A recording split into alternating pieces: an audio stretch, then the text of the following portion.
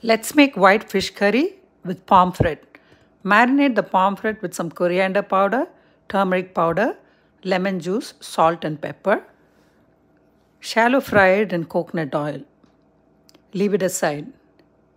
In a separate pan, add some coconut oil, mustard seeds, urud dal, chana dal, jeera, fenugreek seeds, curry leaves, onion, ginger, garlic and green chilies. Saute it and then grind it really well. In a separate pan, add some kokum water, coriander powder, black pepper, the grinded masala and some liquid that comes out of the fish that's fried.